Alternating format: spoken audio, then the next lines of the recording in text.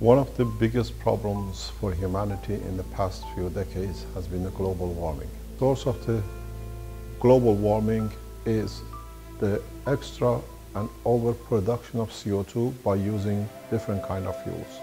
The leaf is a CO2 extraction system. The leaf has two sides. One side is nano-layered differently in respect to the back. You can create one side properties of the leaf, which is, for example, the top. And then trying to find the second plate by putting water and salt in the container with a plate, one nano plate and one nickel plate, we create an environment exactly like the leaf.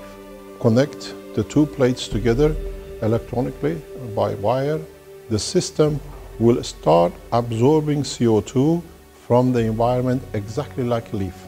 You can extract it as you need it, simple zinc plate.